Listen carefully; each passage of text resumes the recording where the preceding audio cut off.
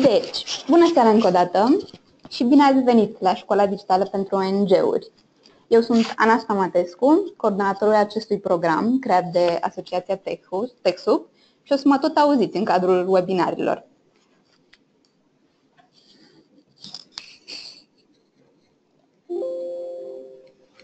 Pentru aceia dintre voi care nu ne cunosc, Asociația TechSoup este cel mai mare centru de resurse de tehnologie pentru ONG-uri din țară. Programul TechSoup, principalul program pe care îl derulăm și pe care majoritatea îl știți, este un program de resurse IT pentru organizații non-guvernamentale, care vă oferă acces la produse software și servicii cloud.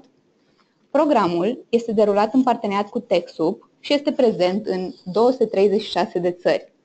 Odată înscris și validat în programul TechSoup, ONG-ul vostru are acces la produse software profesionale și licențe. De asemenea, organizațiile eligibile pot accesa servicii și alte produse cloud de la Microsoft și Google. Peste 2000 de organizații, mai exact 2120, de organizații sunt deja înscrise în program.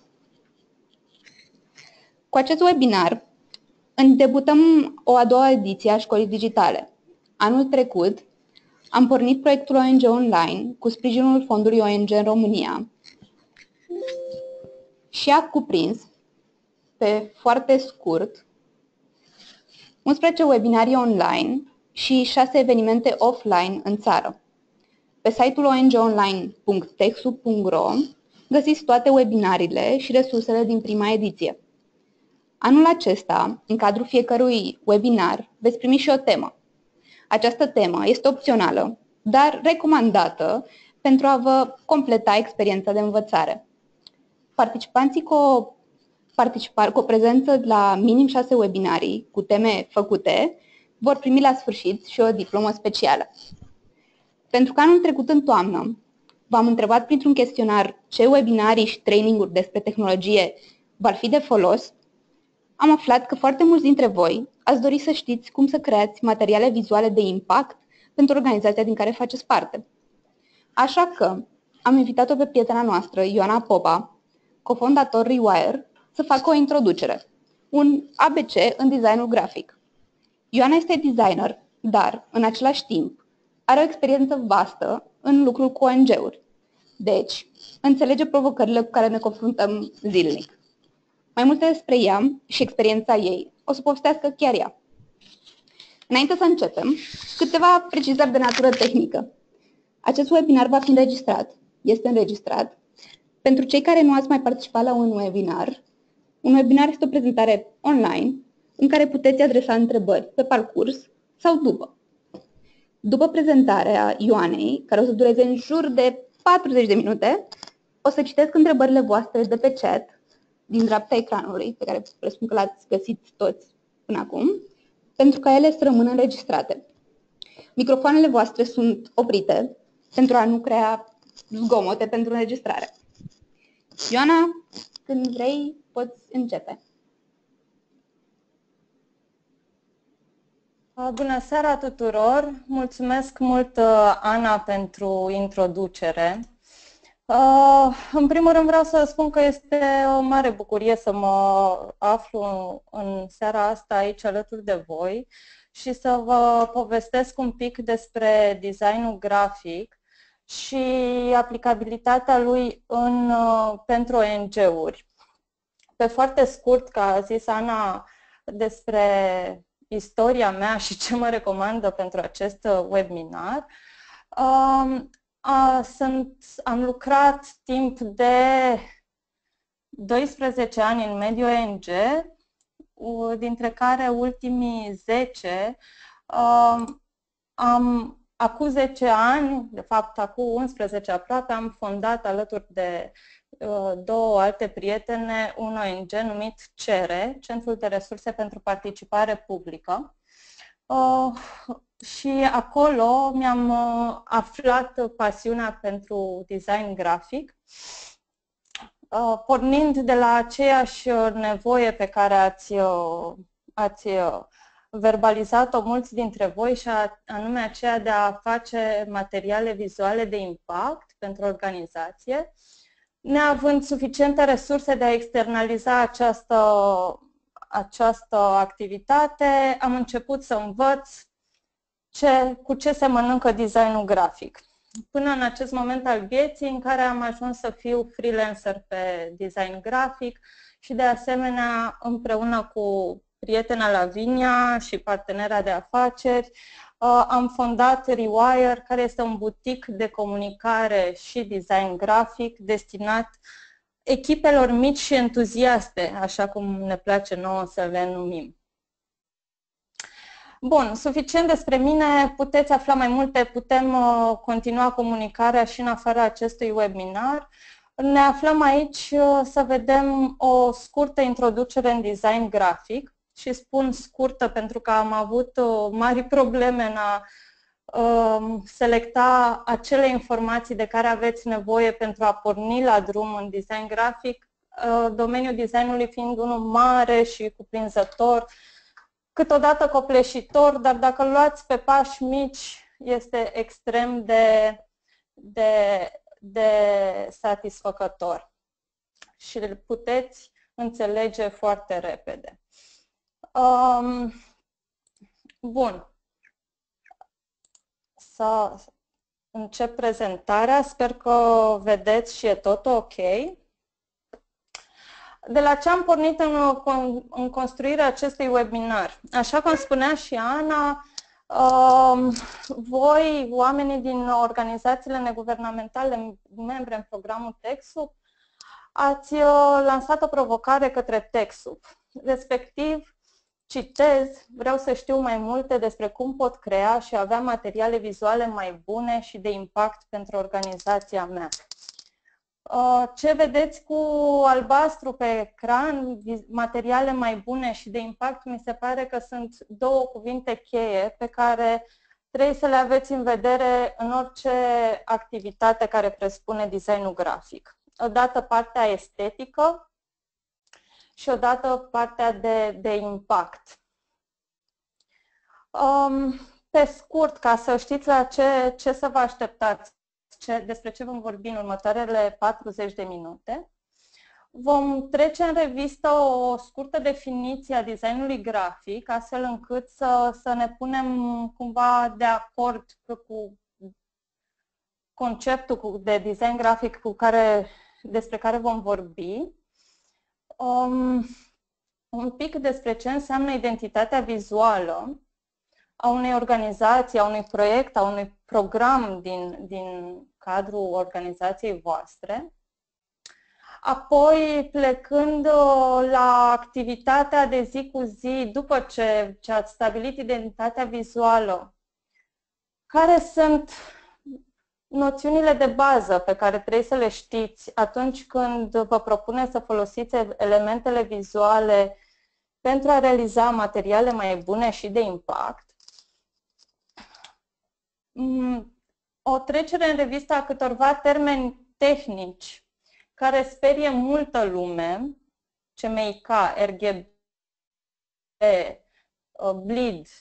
Um, nu trebuie să înțelegeți de plin ce tehnică este în spatele acestor cuvinte, dar odată ce le înțelegeți, ele se, se referă la niște principii foarte simple și vă vor garantat, vă vor ușura uh, munca atunci când o faceți voi sau o, o cereți de la un designer din exterior. Um, am pus cap la cap și câteva sfaturi despre cum să gestionați o relație cu un designer exterior, fie că este vorba de o agenție, un studio de creație, un freelancer.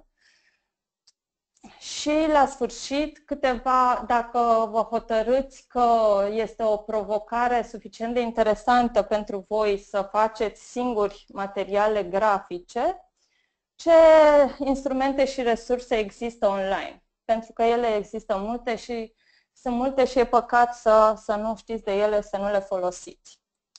Bun, să intrăm în uh, subiect. Am zis că vorbim un pic despre ce este designul grafic. El uh, are multe definiții, evident, ca orice domeniu, sunt, sunt mulți care um, spun ce cred și cum văd ei. Eu aici am pus o definiție în care se regăsește abordarea mea față de design grafic. E, și dacă o înțelegeți termenii, vă va fi mult mai ușor să navigați, să împărțiți ele, elefantul mare, care e design grafic, în micile bucățele. Um, definiția pe care vă, vă propun este că designul este un proces prin care se găsește cea mai bună soluție la o problemă într-un anume context. Uh, de ce evidențiez termenii de soluție și problemă? Pentru că nu veți face materiale vizuale doar de dragul frumosului, aia este artă, um, e cu totul altceva, aproape. Um, întotdeauna designul grafic pornește de la o problemă. Trebuie să înțelegeți exact problema pe care trebuie să o rezolvați cu un material, fie că e um, um, că vreți să vină cât mai multă lume la un eveniment și atunci materialul, invitația la eveniment, trebuie să găsească cea mai bună soluție ca să genereze acest, um, acest rezultat pe care îl doriți. Este esențial să vă gândiți la mesajul pe care vreți să-l transmiteți prin materialele voastre. Bun. Ca să începem uh, un pic interactiv, ca, că, deoarece eu mă simt așa uh, un pic uh, alienată, că eu nu vă aud pe voi, uh, vă propun uh, primul sondaj de astăzi, respectiv ce credeți voi că face un design să fie bun? Forma sau funcția? La formă ne referim la estetică, la funcție ne referim la scopul acela, rezultatul foarte palpabil pe care îl îndeplinește. Ce are, care din cele două are o importanță mai mare? Și acum vă invit să răspundeți.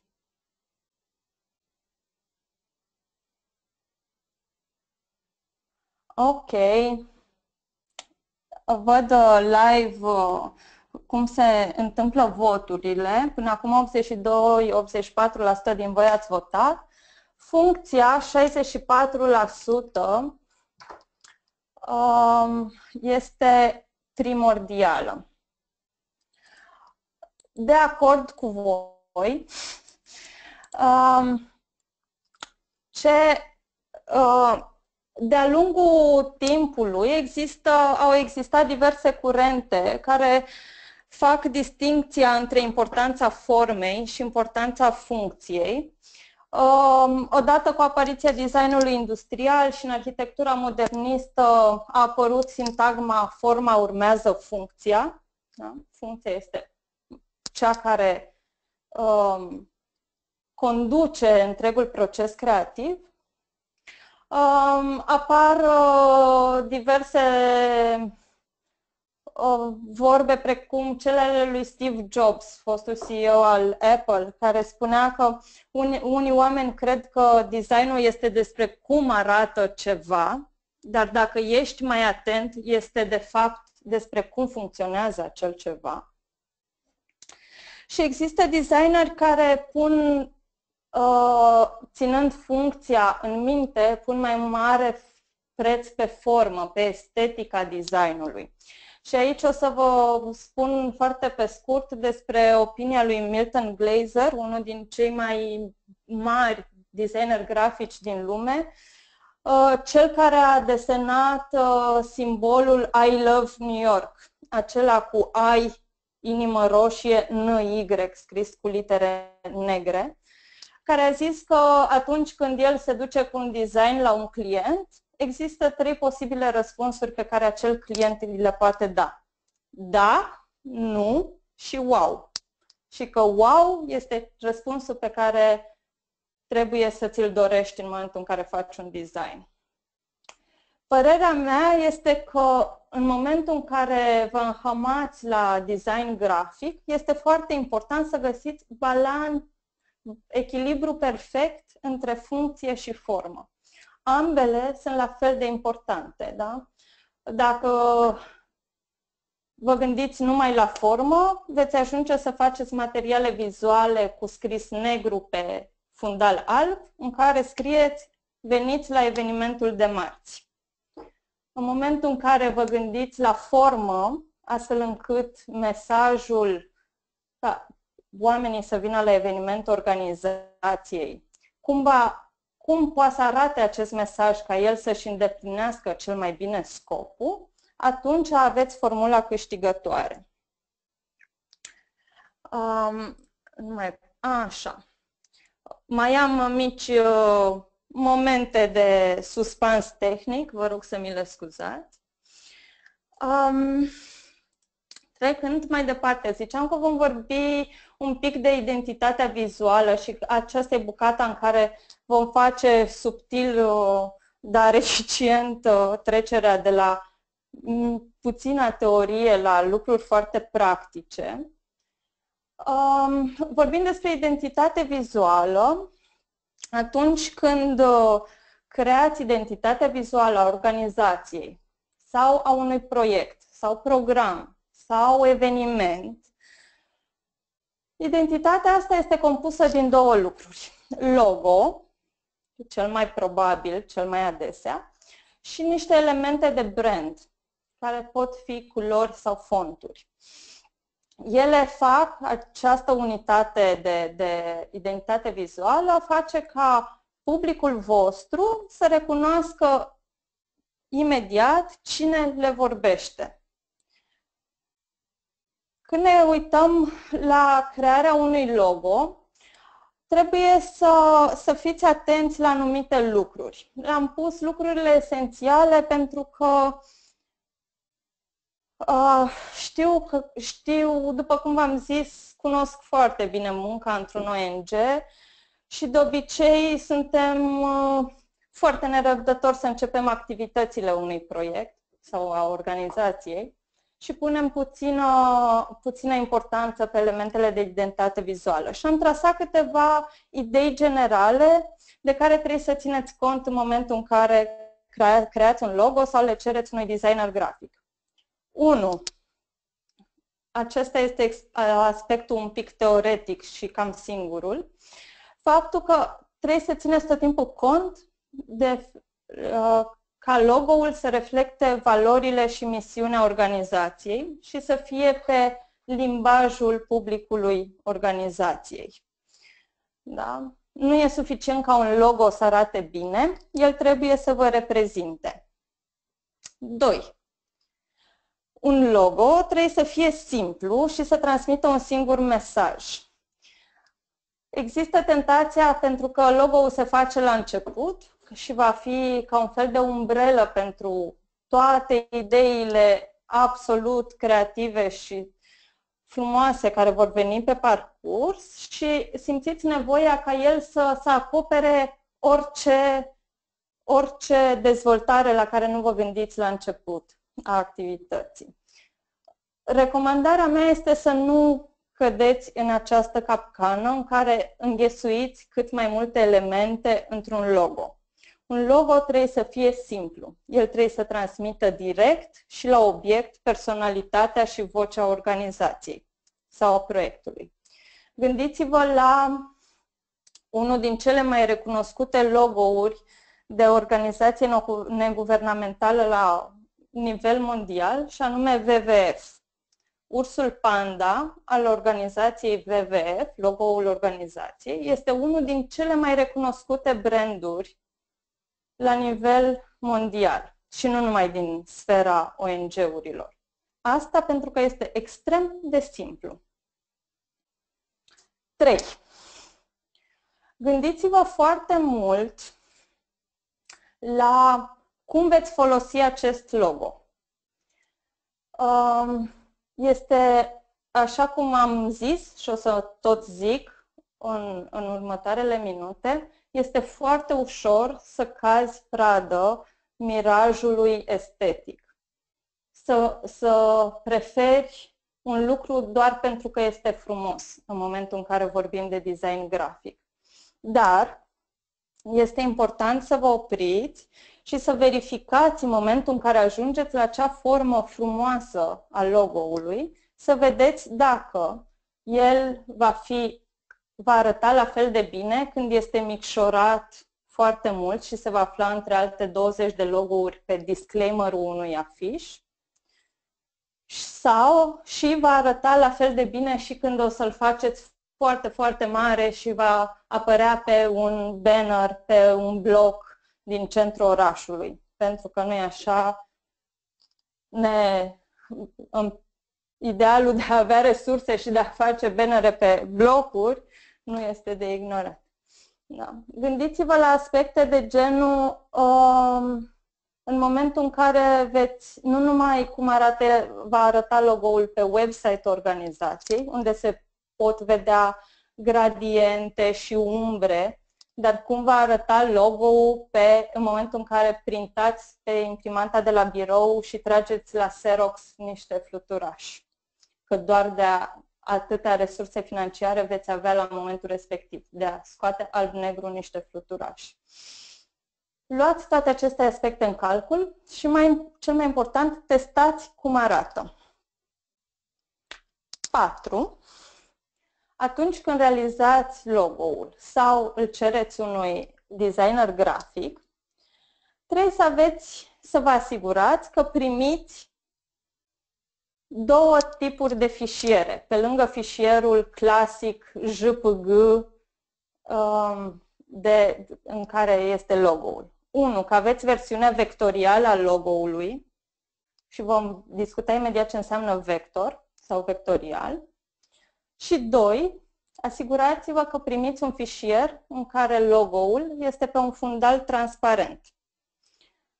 Um, am văzut, amintiți-vă de anumite materiale făcute pe un fundal de o anumită culoare sau textură în care anumite logo-uri stăteau elegant, bine susținut pe fundal și mai există câteva logo-uri încadrate de un chenar alb, de parcă ar fi fost decupate și lipite cu adeziv peste afiș.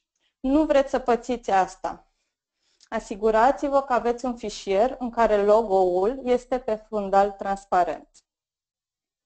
Am promis că vă zic un pic despre vector și raster, respectiv, care e opusului vector. Nu o să intru foarte mult în detalii tehnice, că știu că obosesc. Ideea este că formatul vectorial este un uh, format în care desenul, propriu zis, fie că este vorba de text, fie că este fix un element grafic, este, se poate mări sau micșora fără a-și pierde calitatea imaginii. Uh, asta pentru că vectorul este compus din niște formule matematice și în momentul în care este mărit sau micșorat, imaginea se recompune, ea nu este întinsă ca o plastelină uh, și își pierde calitatea. Ea se recompune, se reface. Um, și este esențial să aveți formate vectoriale atunci când vorbim despre print mai ales. Formate uzuale ale fișierelor vector, ca să vă dați seama ce primiți și ce nu. Și zic uzuale pentru că mai există diverse alte formate, pe cum SVG, MF, alte, altele. Uh, sunt AI, iar de obicei fișierul sursă, făcut în Adobe Illustrator, EPS, PDF. Formatul raster, spre deosebire de format vectorial, um, se regăsește cel mai adesea la fotografii. Fotografia, dar și alte elemente grafice, este raster, sunt alcătuite din puncte, numiți pixeli. În momentul în care măriți acel, un fișier raster, el nu reconstrui, nu mărește numărul de puncte, ci mărește punctul în sine care construiește imaginea. De aceea, el nu un fișier va arăta, raster va arăta bine doar dacă este folosit la dimensiunea la care există deja sau mai mic. Mai mare, în niciun caz. Puteți vedea în uh, josul imaginii, uh, am, uh, am pus două bucăți, detalii din logo Rewire. În stânga este aplicat un logo, uh, un format vectorial mărit, vedeți care calitatea impecabilă. În dreapta este un format raster mărit și vedeți acel efect de pixelare, așa cum se numește. Bun. Trecând mai departe că în identitatea vizuală, um, o să trec foarte repede prin culori și fonturi. Am pus uh, în josul de prezentării o captură de pe pagina de Facebook a Asociației Texu. În stânga vedeți o, o bucată din logo-ul Texu, în dreapta imaginea de, de cover.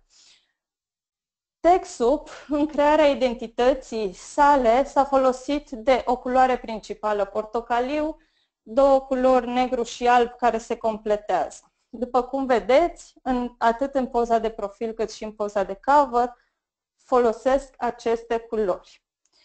Ideea cea mai importantă când vorbim de identitate vizuală este să țineți cont de unitatea brandului. Odată ce alegeți o culoare a brandului, uh, nu vă mai jucați cu alte culori. Știu că poate părea plictisitor să folosiți același portocaliu o, la nesfârșit. Că aveți impresia că publicul se va plictisi. Nici pe departe. Publicul vă va recunoaște în momentul în care veți avea va, un, la un eveniment uh, care reunește mai multe organizații și pe masă vor fi 10 broșuri de la 10 organizații diferite dacă voi folosiți în mod constant aceeași culoare, un, un uh, fan al organizației voastre va recunoaște imediat raportul anual al vostru. Se va îndrepta, le facilitați foarte mult înțelegerea mesajului pe care vreți să-l transmiteți. Bun, cam asta despre identitate vizuală. Trecând mai departe, am zis că vorbim despre elementele uh, care compun un material um, și cum se combină ele.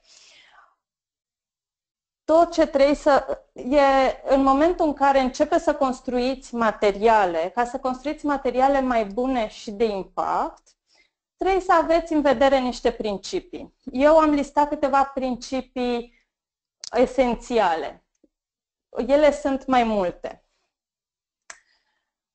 Primul principiu la care eu țin foarte mult și este măsura prin care eu verific de fiecare dată, în momentul în care realizez un material grafic, este un citat din Antoine de Saint-Exupéry, um, autorul Micului Prinț, respectiv un designer știe că a atins perfecțiunea nu atunci când nu mai e nimic de adăugat, ci atunci când nu mai e nimic de scos. În traducere, fiecare element are rolul lui foarte clar în material.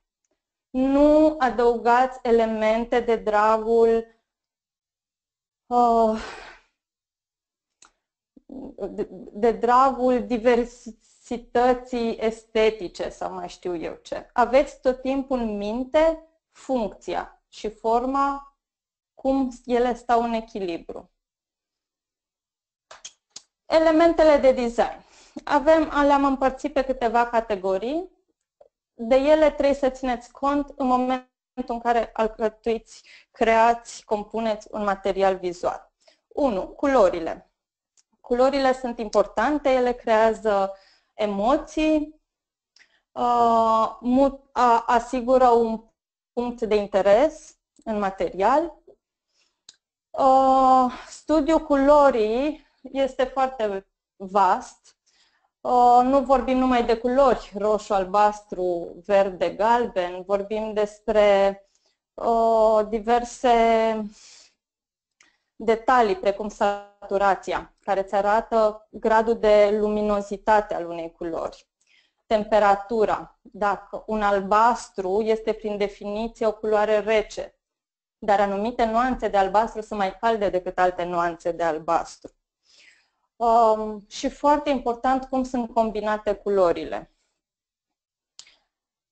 Ce vă sugerez este că dacă vreți să înțelegeți mai mult despre culori, să căutați resurse.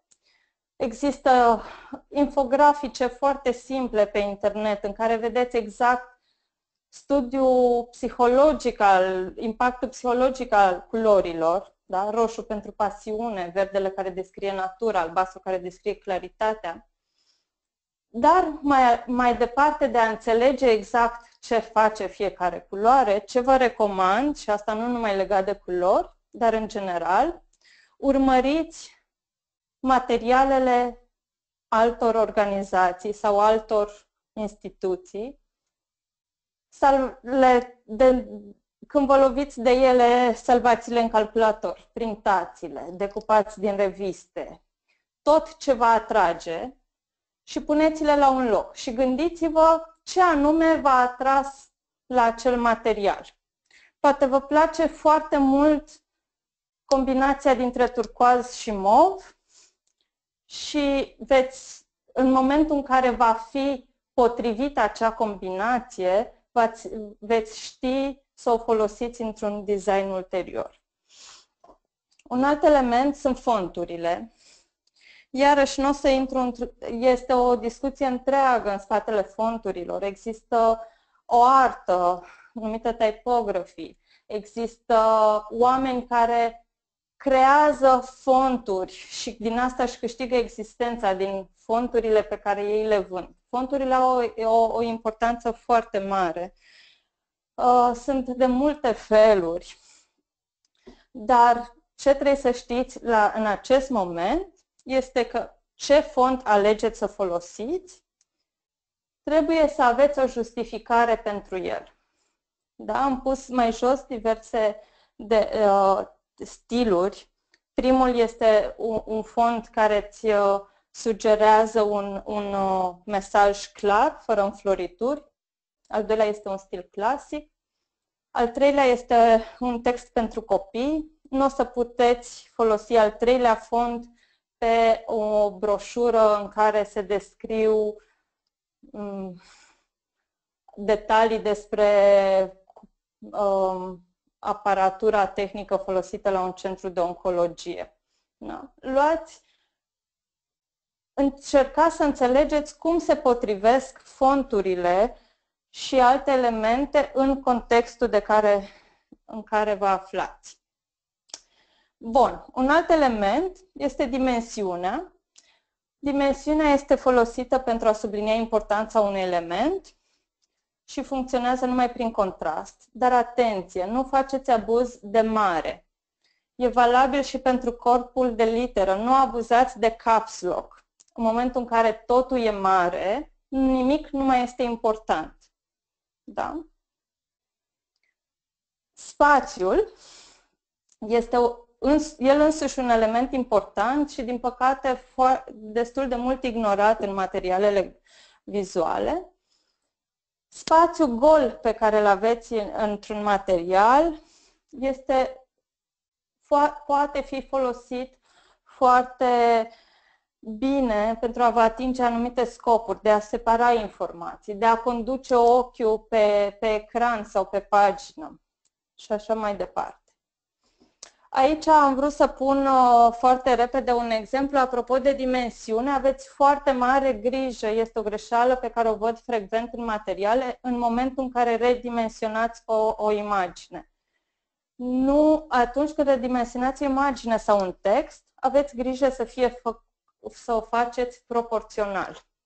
În cele mai multe programe de editare, uh, vă folosiți de tasta Shift. Țineți tasta Shift apăsată și aceea va păstra proporțiile elementului. Uh, reguli de machetare. O să trec foarte repede prin ele. Știu că am vorbit foarte mult. Uh, contrastul. În momentul în care aranjați un, un, uh, un material vizual, um, dacă nu aveți elemente identice, atunci este foarte bine să fie foarte diferite. Dar nu încercați să puneți lucruri asemănătoare. Nu sunt armonioase. Repetiția, repetați elemente vizuale, ajută la organizarea materialului și la întărirea unității lui. Puteți lua reper albastru pe care l-am folosit eu de, în această prezentare. Alegeți anumite elemente care vi se par importante și repetați-le. Astfel, dacă va exista o aglomerare de elemente, uh, nu veți face decât să obosiți cititorul sau uh, spectatorul și acela va, se va muta la un mesaj care nu îl va obosi atât de tare. Alinierea, aveți grijă să, să nu puneți lucruri la întâmplare în pagină și țineți cont de proximitate cât de aproape sunt anumite elemente unele de altele și cât de departe sunt ele. Da? Gândiți-vă la o carte de vizită. Pe o carte de vizită toate elementele de contact sunt puse foarte aproape unele de altele pentru a asigura o citire cursivă a, a cărții de vizită. Bun. Ziceam că trecem uh, repede prin revistă în câțiva termeni tehnici uh, de care trebuie să țineți cont în momentul în care trimiteți materialul în lume. Fie că este că îl publicați în online sau că îl trimiteți la tipografie pentru tipărire. Este important să știți acești termeni pentru că vor fi de ei și de conformitatea lor depinde calitatea materialului rezultat. Degeaba ați lucrat la un material dacă în momentul în care iese din tipografie nu are legătură cu ce vă imaginați voi. CMYK și RGB. Acestea două sunt două moduri de culoare, două sisteme de culoare.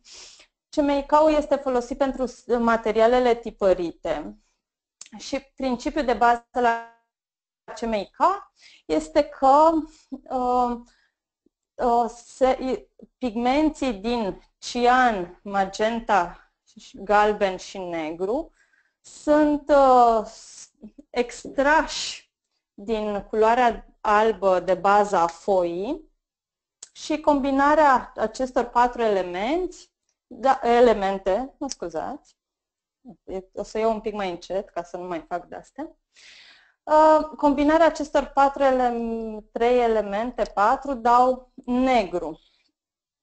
RGB este modul de culoare folosit pentru monitoare, pentru ecrane, spre deosebire de CMYK care extrage din alb și rezultă negru, la RGB ele se combină, sunt uh, lumini, uh, lumina roșie, verde și albastră care se combină și produc lumină albă. Nu are rost să vă bateți capul cu, cu toate aceste detalii, cum funcționează ele. Ideea este că trebuie să țineți cont că ce vedeți voi pe monitor nu va uh, semăna sau nu va fi identic niciodată cu ceea ce veți vedea pe hârtie. Ce trebuie să tindeți e să fie asemănător. Uh, nu vă supărați pe tipografii când le, uh, vă dau materiale care nu sunt identice la culoare cu ceea ce le-ați dat. Sunt procese diferite, tehnici diferite de uh, realizarea culorii. Ideea este că trebuie să vă asigurați că le dați materialul în formatul potrivit. CMYK pentru print, RGB pentru Uh, monitor. Nu le folosiți invers, nu le amestecați, pentru că atunci, așa cum se vor vedea culorile, nu vor avea nicio legătură cu intenția voastră. Și pentru că trebuie să mai fac și o pauză, Următoarea întrebare din webinar. Ce mod de culoare se folosește pentru materialele online? Care credeți că este răspunsul corect?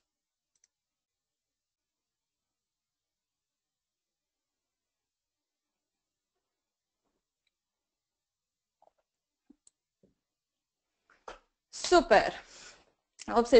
82% ați votat, RGB în mare, mare parte, foarte corect.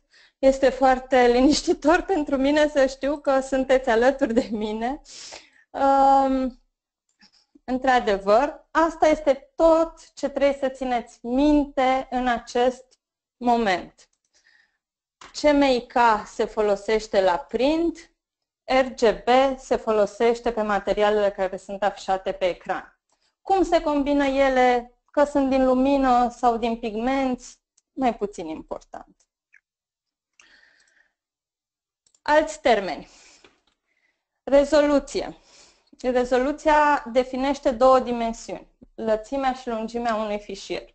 Atunci când veți vedea că cineva vă cere un uh, layout pe 1920x1200, asta înseamnă rezoluția cea mai populară pentru un monitor, în care 1200 de pixeli sunt lungimea și 1200 înălțimea fișierului.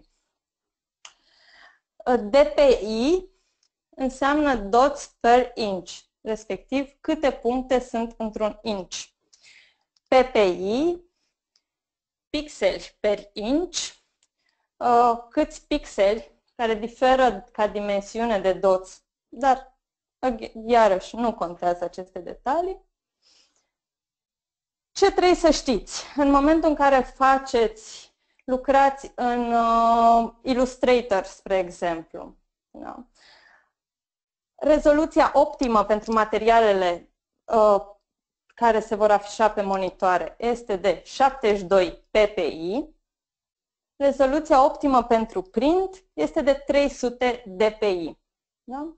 Atunci când cereți colegilor fotografii pentru a fi incluse în raportul anual, spuneți-le că vreți fotografii care să aibă rezoluție de 300 dpi. Dacă au rezoluție mai mică, ele vor fi pixelate. Țineți minte de la raster din dimensionarea pixelului și alte nebunii. Alt termen foarte important, și vă zic asta din proprie experiență, că până m-am prins eu ce înseamnă asta, au fost multe telefoane cu tipografiile, este bleed-ul. De bleed trebuie să știți în momentul în care elementele din document vă depășesc, ajung până în marginea foii de bleed vorbim numai la materiale tipărite. Dacă elementele sunt, nu ating marginea foii, nu trebuie să vă bateți cap.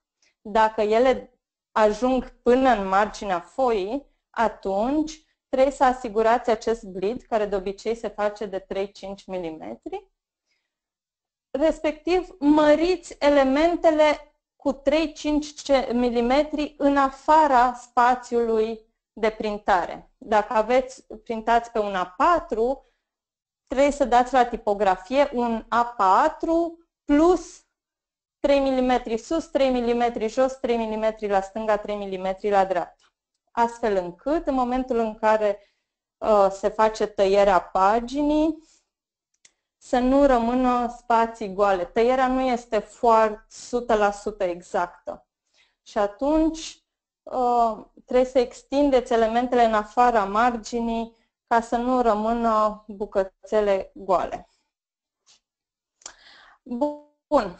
Um, vor, uh, repede, ce trei sfaturile mele atunci când vă hotărâți că aveți un proiect mai mare și e bine să mergeți pe mâna unor profesioniști în design grafic. Cercetați ce a făcut freelancer, o agenție sau studioul de creație. Nu întotdeauna o agenție de renume este cea mai potrivită pentru voi, cum nu întotdeauna o, un freelancer mic e cel mai potrivit pentru voi. Depinde de la caz la caz, cercetați și vedeți dacă vă potriviți.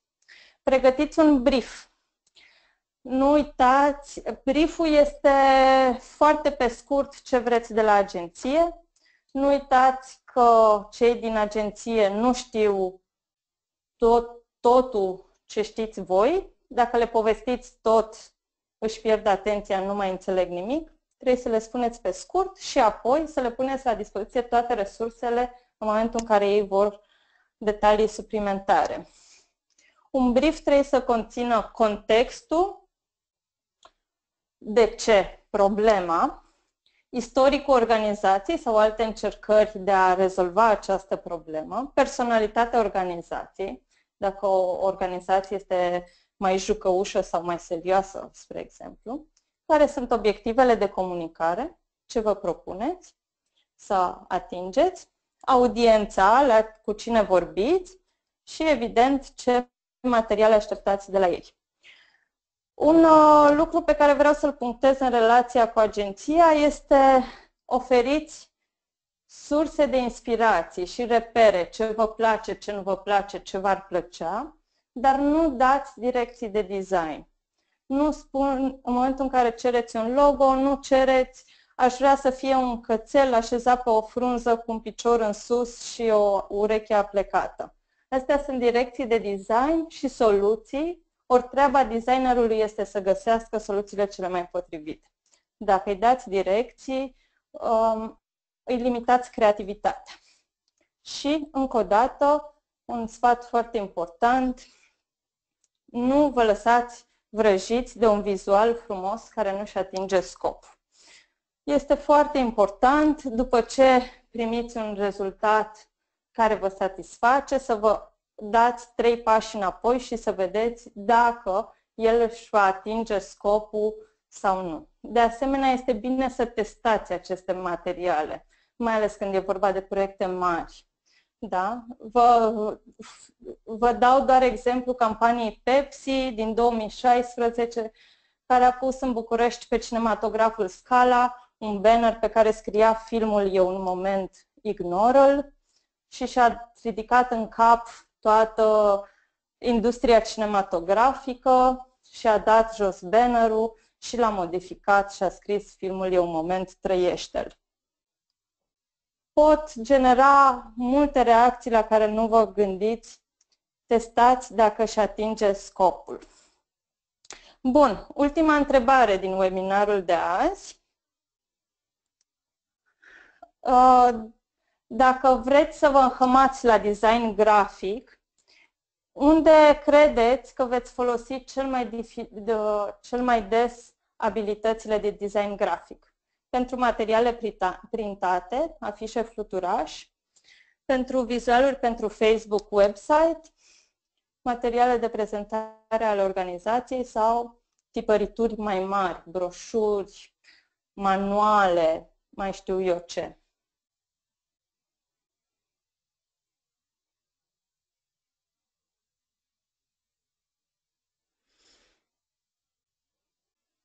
Bun. Văd că um, 86% dintre voi vor să folosească, um, să-și pună la bătaie abilitățile de grafic, de design grafic pentru vizualuri pentru Facebook sau website sau alte lucruri de online. Și pe locul 2, materiale de prezentare ale organizației, apoi vin printurile. Ok. Bun. Dacă uh, vă înhămați la design grafic, trebuie să știți că există câteva resurse pe internet care vă vor fi de mare folos. Iar pentru, mai ales pentru vizualurile de, de online, este foarte uh, bine să le folosiți. Um, și voi, vi le voi lista. Cercetați, ele sunt mai multe. Uh, ideea este că, mai ales când sunteți la început și nu sunteți foarte siguri pe ce faceți, folosiți ceea ce este pe internet. Uh, fonturi gratuite unde puteți, site-uri unde puteți găsi fonturi gratuite. Google pune la dispoziție un set de fonturi, care sunt și fonturile recunoscute de website-uri. Uh, un alt website este Font Squirrel, uh, altul este Dafont. Uh, atenție, nu toate fonturile sunt gratuite, mai ales pe acesta ultimul, pe Dafont. Verificați exact unde le puteți folosi și cum. Un site care, pe care eu îl folosesc foarte mult, mai ales când mă grăbesc să, să fac vizualuri de Facebook, când trebuie o reacție rapidă și n-am timp să desenez, este freepic.com. Acolo veți găsi multe fișiere vector pe care le puteți edita, modifica și așa mai departe. Există un abonament destul de ieftin și dacă îl plătiți puteți folosi resursele fără să le atribuiți. Dacă mergeți pe varianta gratuită, va trebui să uh, dați întotdeauna atribuire, să spuneți acest element uh, este creat de freepic.com. Fotografii gratuite. Sunt multe site-uri unde veți găsi fotografii gratuite. Unele la care trebuie să spuneți sursa, altele nu. Câteva dintre ele sunt pixabay.com, unsplash.com, deathtothestockphoto.com, foarte activist numele, raumrot.com, așa cum am zis și la fonturi, atenție mare la licențe. Ca să înțelegeți mai bine cu ce se mănâncă licențele, uh, vă recomand să mergeți pe site-ul Creative Commons. Uh, de obicei, licențele sunt din categoria Creative Commons sau există o, un material foarte interesant chiar pe site-ul TechSoup despre cum uh, puteți înțelege mai bine cum funcționează uh, licențele. Și ultima resursă de care vreau să vă spun este site-ul Canva. Canva este un software unde puteți face foarte repede vizualuri de impact. Site-ul este www.canva.com. Trebuie să vă faceți un cont și odată ce vă faceți cont, intrați direct în pâine. Um, aici aveți un, în dreapta un mic uh, visual pe care l-am compus eu din două elemente, fundal și um, cercurile de, de culoare care construiesc CMYK-ul. Um, dar puteți vedea în, în stânga ce puteți folosi. Primul, prima variantă este de layouts, în care găsiți uh, uh, materiale predefinite, uh, după aceea elemente, ele, uh, ca să construiți singur vizualuri, puteți uh, prin drag and drop, da? prin tragere și lăsare, cred, Doamne, nu cred că am tradus niciodată drag and drop. Așa, ă, puteți pune elemente pe vizual, puteți pune text, puteți schimba background, puteți uploada ă, fișierele voastre, gen logo. Da? Ă, ce e bine să știți, pe Canva puteți face prezentări, materiale pentru social media, flyere, afișe, grafice, felicitări, orice. Nu, nu vă mai zic mai multe, e foarte distractiv uh, să-l descoperiți singuri și vă va ajuta enorm în, în uh, transmiterea mesajelor pe Facebook, cel puțin. Bun, și zicea Ana de, de tema de sfârșit de webinar, pentru că iată am ajuns la sfârșit. Uh, vă lansez o provocare. Jucați-vă în Canva, vedeți cum funcționează și realizați un vizual pentru Facebook în care să prezentați cel mai important succes al organizației din anul trecut. În momentul în care faceți asta, țineți minte ce vreți să transmiteți, care e stilul organizației, care e profilul publicului. Nu? Cam asta, asta a fost uh, încercarea de a concentra cât mai mult designul grafic într-un webinar. Sunt Ioana, mă puteți găsi la Rewire, putem continua această discuție mai departe de limita de timp impusă de webinar și sper mai interactiv. Mulțumim. Mulțumesc tare mult! Mulțumim, Ioana, mă auzi? Da, da. Acum avem câteva întrebări pentru tine de la participanți. Prima da. întrebare, referitor la logo și culori. Dacă asociația desfășoară un program separat, care se dorește a fi branduit separat, adică având identitate vizuală proprie, logo plus culori diferite de logo-ul asociației mame, este o greșeală? Da. Dacă este o greșeală și se poate uh, crea o legătură la nivel de identitate vizuală între cele două, întreabă Oana Crăciun.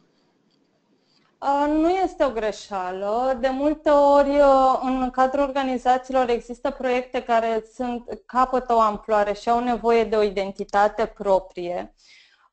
Singura, o singur aspect pe care vreau să-l ridic este să nu fie enorm de multe branduri în cadrul aceleiași organizații. Nu e ok să fie un logo de organizație și 10 logo-uri de proiecte și programe. Um, încercați să vă dați seama ce anume, care anume proiecte pot susține un brand de sine stătător și acelora acordați-le această atenție. Uh, legătura dintre brandul mare și brandul mic, să le zic așa, poate fi făcut printr-un, prin uh, reproducerea unui element și aici mă gândesc că toți suntem în acest context la logo-ul ONG Online, care uh, este diferit de logo-ul TechSoup, dar păstrează portocaliu și îl ține în aceeași um, familie vizuală, să zic.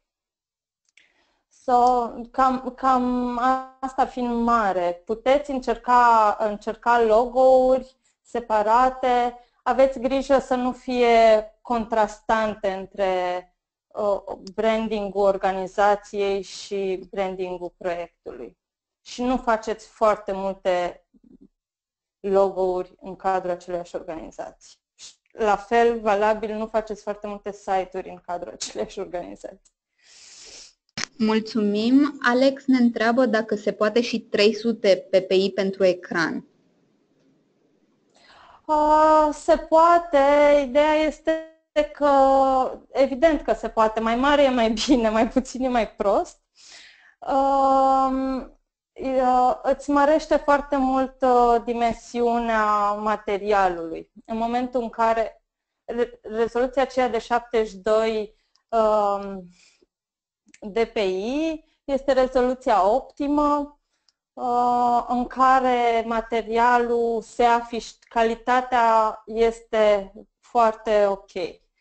Cu cât e mai mare, nu strică cu nimic decât că va afecta, evident, dimensiunea și va exista o mică problemă între în um, adaptarea dimensiunii pe un anumit format, să zic, dar singurul efect de care trebuie să țineți cont este faptul că um, va, mări, va crește foarte mult dimensiunea fișierului. Dacă într-un PowerPoint, spre exemplu, puneți multe fotografii la rezoluție foarte mare sau într-un website, dacă puneți fișiere de o rezoluție mai mare decât este necesar, website-ul se va încărca mult, mult mai greu. Sau PowerPoint-ul nu va mai putea fi trimis pe mail, spre exemplu. De asta trebuie să țineți cont. Altfel, sigur că da, mai mare e mai bine. Mulțumim. Alex ne întreabă ce trebuie să conțină o carte de vizită. Fu, asta este iarăși o, o discuție în care nu știu dacă voi reuși să o, să o comprim în, în câteva minute. Depinde foarte mult. O carte de vizită este cumva, chiar și acum, în această eră digitală, uh, prima interacțiune cu organizația, cu materialele organizației, cu identitatea vizuală a organizației. Și atunci este bine să fie, să se remarce într-un fel cartea de vizită. Uh, gândiți-vă la un Rolodex sau un tank de cărți de vizită în care toate sunt albe, pătrate, în care au titlul pe centrat și pe verticală și pe orizontală numele persoanei și așa mai departe. Nu, nu iese în evidență cu nimic. este bine să, să pună accent, să transmită chiar și pe o bucată atât de mică de hârtie identitatea organizației și personalitatea ei uh, și, de asemenea, nu uitați uh, de elementele esențiale și de scopul cărții de vizită, să dea contactele persoanei. Poate fi foarte cool și um, în afara cutiei să transformi uh, numărul de telefon în sistem binar, să zic, pentru un ITist. Dar gândiți-vă dacă cineva care nu știe cum se citește sistemul binar va avea, va înțelege ceva din numărul de telefon sau în momentul în care va încerca și se va lăsa foarte repede pe guba și va arunca cu cartea de vizită de pământ. Uh, porniți de la elementele esențiale pe care vreți să le transmiteți. Nume, funcție, uh, website, telefon, e-mail, uh, telefon fix mobil, nu știu, asta depinde de fiecare, cum, ce contacte vrea să dea și ce contacte li se par importante. Facebook, adresă de Facebook de asemenea. Listați-le pe acelea, vedeți exact ce vreți să transmiteți și după aia încercați să vă jucați cu ele, să vedeți cum puteți adăuga, fără a compromite acest scop principal, cum vă puteți juca cu elementele grafice ca uh, o carte de vizită să iasă în evidență și să transmită real personalitatea organizației. Mulțumim. Mai luăm o singură întrebare pentru că am, că am ajuns la finalul timpului alocat. Uh, ce reprezintă disclaimerul unui afiș? Întreabă Loredana.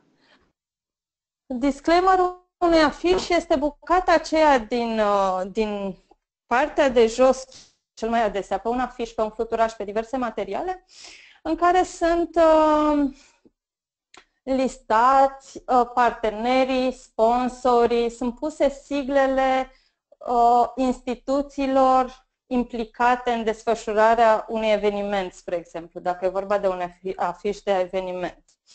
Spun asta, de asemenea, uh, pun, am pus un pic accent și în prezentare pe disclaimer, pentru că știm cu toții despre regulile de identitate vizuală ale finanțatorilor unui ONG.